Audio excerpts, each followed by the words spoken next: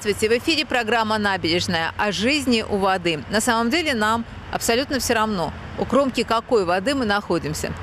Потому что в Крыму бесценна любая вода. И морская, и пресная. А тот, кто этого еще не осознал, обязательно позже поймет. В эфире программа «Набережная» о бесценности крымской воды в любом ее состоянии и проявлении.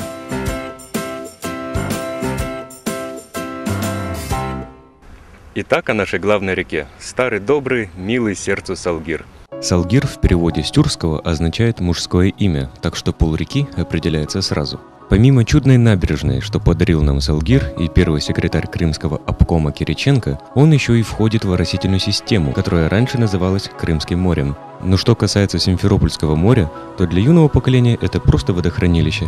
Да уж какое тут море. Для старшего поколения симферопольцев это был знаменитый курорт со всем набором для морского отдыха. Сейчас же здесь просто водохранилище, где можно встретить двух-трех рыбаков и пять отдыхающих. Но вернемся к набережной, которую все-таки построили. Конечно же, речь пойдет о всеми любимом парке Салгирка. Это длиннейший парк, нежно сокрытый в тени ив. А, Тишина, спокойствие, деревья. Современный Салгир не отличается особым размахом, и трудно поверить, что когда-то давным-давно его ширина в районе нынешнего проспекта Кирова достигала 700 метров, то есть он был раздвинут от площади Советской до площади Куйбышева. Несмотря на то, какой он сейчас, э, он был довольно большой якой, потому что даже в наше время, во время моего детства, он бывало наполнялся так, что э, в районе Комсомольского он затапливал подъезды, и маленькие дети зарабатывали деньги тем, что переправляли людей на пенопластах от, от подъезда до того места, где воды уже не было, и зарабатывали на этом 50 копеек с каждого человека, что на то время было довольно неплохими деньгами для маленьких детишек. Принято считать, что в Салгире водятся только лягушки и жабы. Тут есть и подлещик, и окунь, и карась, и карпик попадается, и пескарь. А внизу я ловил головля. Время течет на набережной как-то иначе, медленнее. Может быть, потому что здесь меньше асфальта, меньше электричества, даже и совсем нет. Больше живой травы, земли. Можно даже безумную по сегодняшним временам мысль вспомнить о том, чтобы сбросить пластмассовые подошвы, походить по травке и даже в нее лечь, и даже посмотреть в небо. Все великие вещи не бывают без горизонтального положения и взгляда в небо. Пушкин был великий лентяй. Поклонник мус, поклонник мира. Забыв и славу, и любовь. О, скоро вас увижу вновь. Берега веселые Салгира. Кто-то знает только одну реку, Реку я знаю только одну. Салгир. Салгир. Салгир? Салгир. Ну, Салгир это, да, главная река. кто-то знает, о чем пил Пушкин, Салгир, воспетая Пушкиным. Река у нас на набережной протекает. Какая? Как называется? а кто-то вообще забыл. На «С» начинается. Салгир. Правильно. Думаете, у нас еще есть речка, У да? нас еще есть. Нет, знаю большой малый Салгир. О водохранилищах Крыма знали больше. Тайганское водохранилище, Симферопольское, Севастопольское есть водохранилище. Партизанское водохранилище, Аянское. Тайганское знаменитое, Белогорское знаменитое. Ну, наше водохранилище Симферопольское. А кто-то честно признался. Географию плохо учил. А вопрос-то с подвохом. Речушек и прудов у нас в прямом смысле пруд-пруди. Их главное найти. Крымская вода, она с характером, а порой ведет себя по-детски и играет в прятки. Ну, например, возьмем сестрицу Салгира Славянку. Это последний приток Салгира. Река протекает по трубе и выходит на поверхность только в районе улицы Данилова в Симферополе, поступая в Даниловский пруд. Давным-давно здесь собирались симферопольцы и запасались родниковой водой из источника Борчокрак. Эту воду сюда несет река Славянка.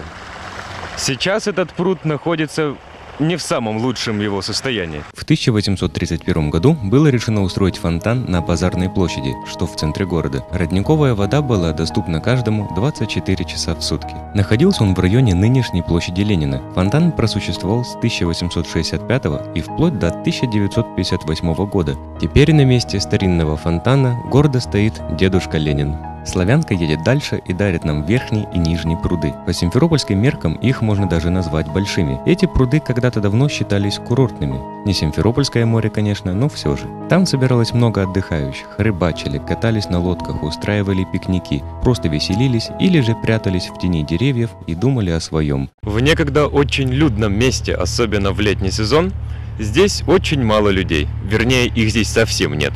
Разве что только два рыбака и одна утка на целый большой ставок. Дело в том, что сейчас обеденный перерыв. Жарко слишком. А вы придите сюда в 7 утра или в 6 утра. И вы увидите, сколько здесь уток и сколько здесь рыбаков. С внуками приходите сюда вместе Вот порыбачить, з- покупаться? здесь мы не купаемся, мы купаемся на водохранилище. Там чистая вода. А здесь в городе уже сточные воды, все может быть. Поэтому я внуков сюда только на рыбалку вожу. Купаться им не разрешаю. Очень странно, что в таком красивом и удобном месте так мало отдыхающих. Хотя наши любители пикников испортят вам праздник даже в этом месте. Пожалуй, что каждый с первых нот узнает знаменитейший марш прощания славянки. Как принято считать, марш был написан в 1912 году в Тамбове трубачом 7-го запасного кавалерийского полка Василием Агапкиным. Но информация из других источников утверждает, что марш был написан и распространен в Симферополе. В действительности маршу «Прощание славянки» подарил жизнь симферопольский капельмейстер Яков Багарат. Багарат превратил черновик Агапкина в цельное произведение и за свой счет издал в симферопольской типографии 100 экземпляров марша, которые Агапкин увез с собой. На берегах Славянки были выстроены воинские казармы, которые с 1880 года занимал 51-й литовский пехотный полк. Когда солдаты и офицеры полка прощались с городом, их провожала река Славянка. Все это только подтверждает загадочность наших рек. Именно река была той девушкой-славянкой, провожающей солдат на войну. Но в официальной версии об этом нет никакой информации. У нас в Крыму достаточно долгая береговая полоса – 980 километров. Но даже если учесть, что 78% – это абразионные берега, то все равно на этом участке пути должны встречаться превосходные набережные. Но с набережными городов все более-менее утряслось. А что касается поселков, то у них нет не только набережных, но, как правило, нет даже рабочих архитектурных проектов. Более того, эскизных проектов не существует. И архитекторов, которые работали бы с поселковыми набережными, крайне мало. Но есть немного, редкие исключения.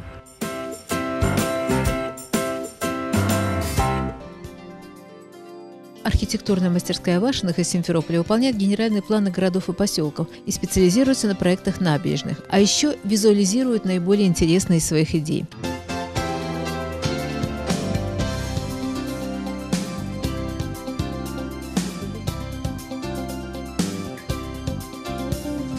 Архитекторы сделали много фантастических картинок будущего для прибрежных уголков Крыма. И жаль, что мы этого не видели. И даже если еще не нашлось инвестора, который притворит в жизнь, например, проект этой набережной в поселке Голубой залив, который входит в состав Семииза, то для нашего кругозора очень важно знать, что так может быть. Мы ведь привыкли, увы, к худшему и думаем часто, что с тем, что мы видим, каждый день можно жить веками. Ну, немного чище сделать, ну, немного больше плитки тротуарной положить и украсить набережную цветами. Но ведь по большому счету, то, что успели сделать из набережных в Крыму, это передовой опыт в том, как их можно было испортить. Согласитесь, что все должно быть иначе, и у каждой набережной должен появиться единый архитектурный план.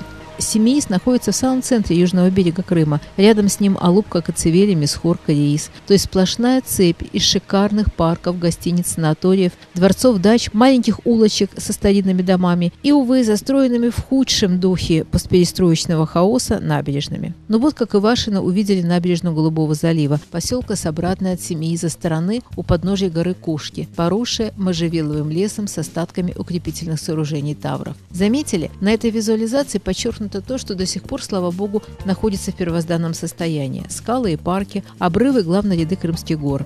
И многие знаки, приметы Семиза. Гора Кошка, скала Дива, Лебединое крыло, благодаря которым о поселке сложены легенды. Кстати, само слово «Семииз» переводится как знак, примета. Прибрежная полоса поселка не более 5 километров. И здесь, считают архитекторы, можно было бы уместить набережную с такими идеями. Эта набережная дала бы возможность снова почувствовать. Мы не на рынке возле моря, а где-то на краю земли, среди величественной природы.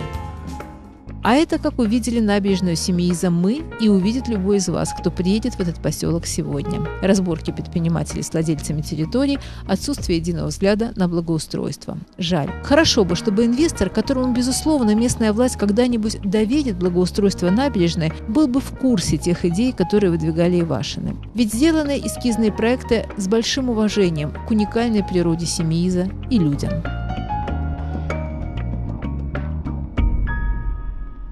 А это, как в представлении Вашиных, могла бы выглядеть набережная, известная вам Новофедоровке, поселка возле Сак, на берегу Коломитского залива, рядом с которым соленые озера Кызыл-Яр, Багайлы, Сакское озеро. Кстати, и здесь в древности, в V веке до новой эры, было древнегреческое поселение. Отсюда в эскизе Ивашиных морские символы, доминанты набережной, корабль, причаливший к берегу, и даже осьминог, правда, из аквапарка. Разумеется, поселок Новофедоровка не мог быть развит в курортном смысле, и никто в советское время не заботился о его береговой зоне, как, например, это было в Алуште или Ялте, хотя бы уже потому, что с 30-х годов здесь был построен один из полевых аэродромов для Качинского училища военных летчиков. Но уже после освобождения Крыма на искусственное покрытие аэродрома, сделанное во время оккупации, приземлились самолеты Черчилля и Рузвельта, доставившие лидеров на Ялтинскую конференцию. Авиационный гарнизон Саки-4 тоже не способствовал притоку сюда людей и бизнеса. Да и сам поселок был создан здесь только в 1992 году, а его сельсовет был открыт только в 1995.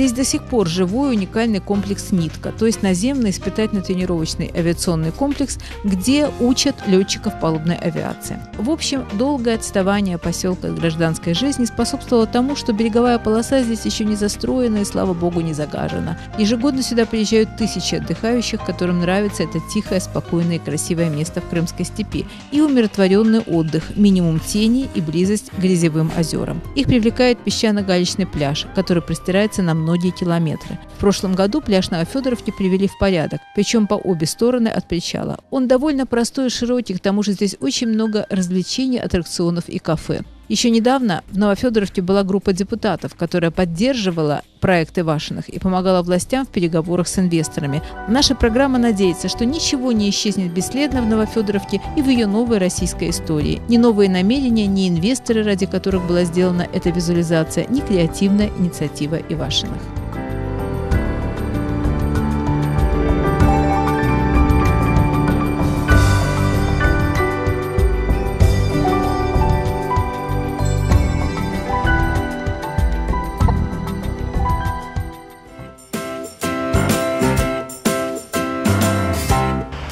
Набережные наших друзей. Такую рубрику мы решили поддерживать в нашей программе и рассказывать вам о набережных а в городах крымских побратимах в различных федеральных округах России.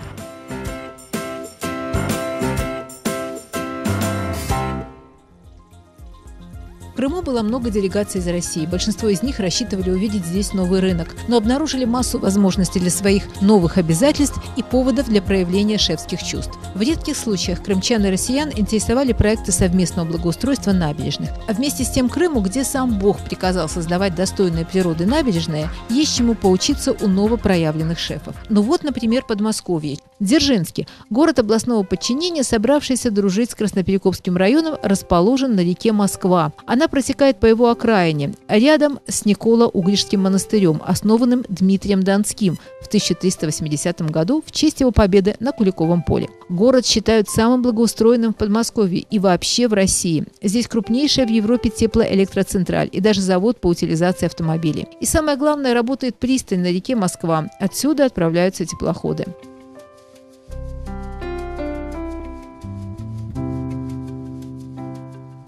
Но, разумеется, не менее интересны набережные Сибири. В Крыму успела побывать делегация Иркутской области. В Иркутске есть своя набережная, и нам было любопытно вам ее показать. Тем более, что Симферополь стал побратимом Иркутска. Название самого города происходит от реки Иркут. Стоит город на Ангаре в месте впадения в нее Иркута. Иркутск – столица Приангарья и одновременно Прибайкалья. Город народный, коренной, сибирский, старинный, интеллигентный, как называл его Чехов. Восточный Париж и сибирский Петербург. Ангара делит город на правобережную и левобережную часть. Длина реки в черте города 29 километров, а ширина под Старым Ангарским мостом в центре города около 300 метров. На реке больше 30 островов. Благоустроенные набережные тянутся вдоль правого берега Ангары. Из города можно на теплоходе доплыть до Байкала. Ангара питает город водой, теплом и электроэнергией. Но пить из Ангары или купаться в ней тоже не имеет смысла, потому что четверть всех канализационных стоков города сбрасываются прямо в реку. Незамерзающая полынья Ангары в районе ГЭС вызывает регулярные туманы в прибрежной зоне и ини на деревьях в осенне-зимнее время. Так что порой Иркутск столь же туманен, как Лондон. Много видов набережной Ангары оставили нам художники, авторы старинных картин. А среди музеев Иркутска есть даже ледокол Ангара. В следующий раз мы расскажем вам о других набережных друзей и шефов Крыма, Республики Хакасии и Бурятии.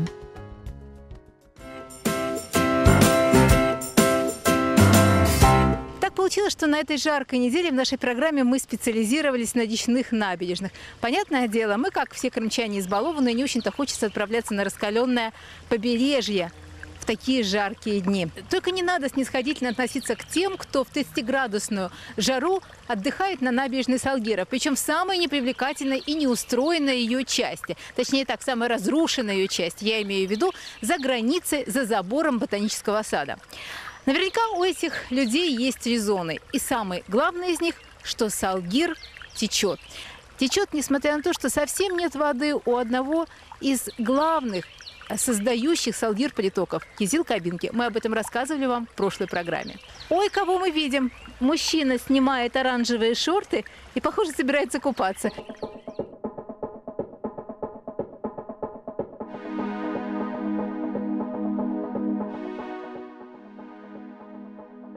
Во всех лужах, да, купается? Везде Он погру- любит окунуться, да.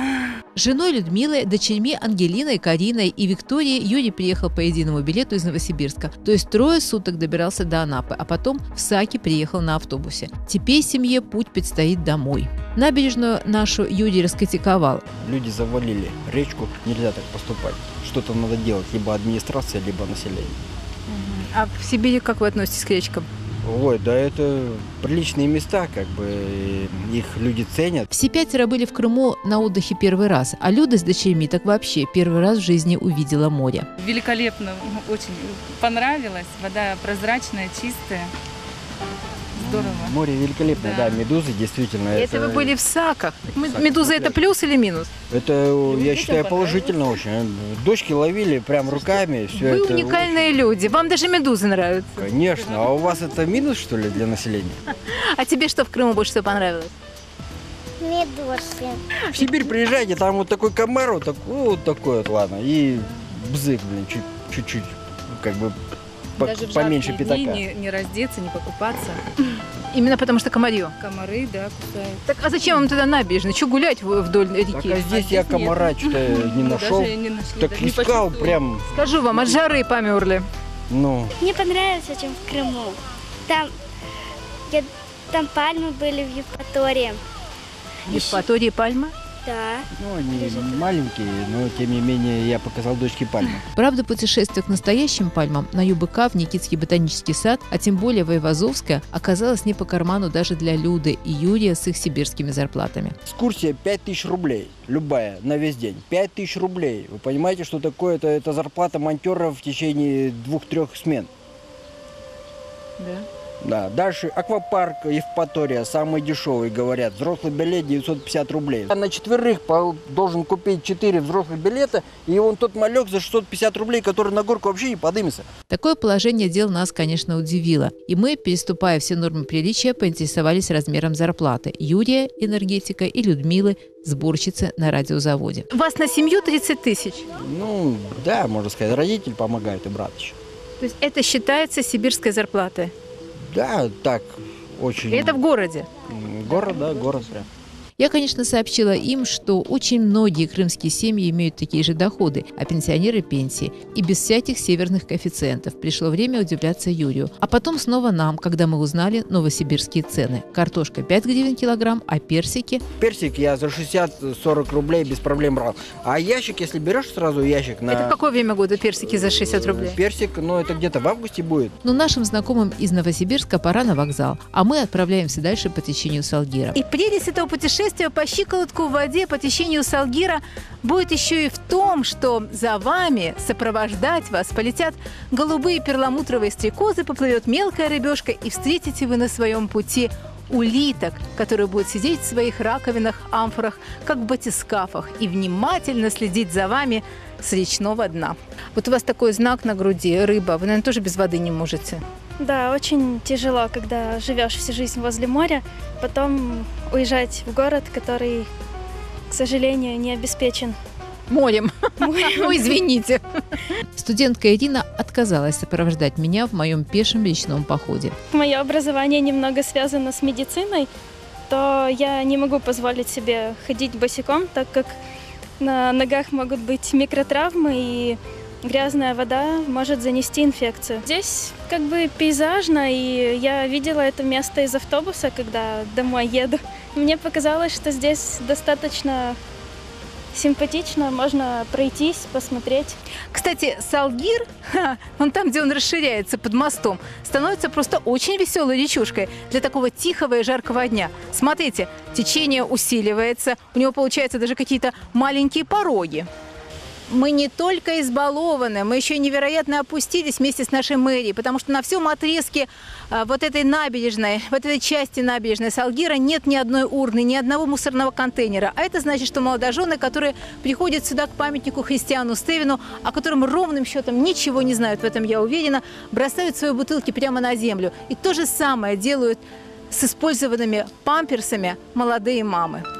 А за мной прямо-таки английская лужайка возле речки под старыми платанами. Аня и София живут неподалеку и проводят здесь жаркое время дня. Каникулы же. Хочется же там, например, не за книгами сидеть, а... Ну, за книгами тоже не мешало бы. Можно взять вот книгу, сесть на тенистый участок набережной. И, в общем, и то, и другое хорошо будет одновременно делать, нет? Ну да, наверное. Никогда так не развлекались? Да нет. А как вы думаете, вот если бы вот его почистить, он бы стал шире и, ну, полноводнее? Мне кажется, да. А как ты думаешь, вот э, люди бы взялись за то, чтобы расчистить Салгир? Не знаю. Мне кажется, что взялись. Да? Да. Они Если брали. бы, конечно, не ленились, им бы было потом приятнее здесь быть. Ты бы им помогала? Конечно. Смотрите, кто-то очень грамотно и старательно сделал здесь настоящий пляж. Вот такую запруду, которая на самом деле не мешает течению воды, потому что а, часть воды устремляется по течению сразу же, а часть на некоторое мгновение остаются в этих а, мелких заводях, которые, кстати, хорошо прогреваются. Но кто-то совершенно некультурный и даже, скажем так, честно, большой хам выбросил здесь петовские бутылки, обертки от чипсов и картонные коробки от вина. Вот вам и конец благоустройству. Жаль, что никому не нужны уже эти смотровые площадки, иначе к ним бы относились другим образом.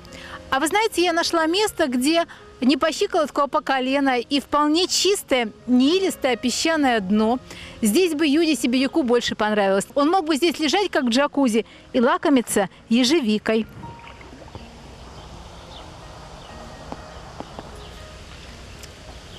Вкусно.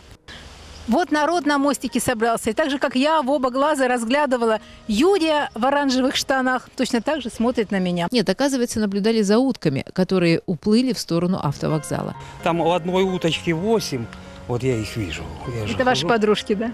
Ну, подружки, не подружки, а, а у второй три утеночка. Сам Виктор приходит сюда несколько раз в день. Говорит, что живет благодаря набережной Салгира. Я этот, а, травмировался, и надо сейчас ходить. Лежала, сейчас надо ходить.